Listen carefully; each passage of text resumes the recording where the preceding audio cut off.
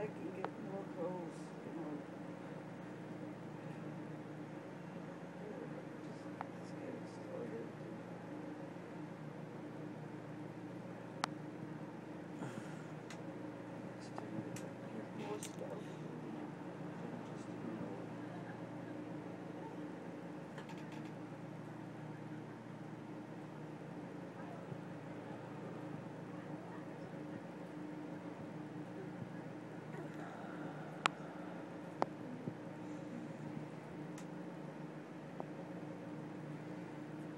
I need to buy or make a microscope.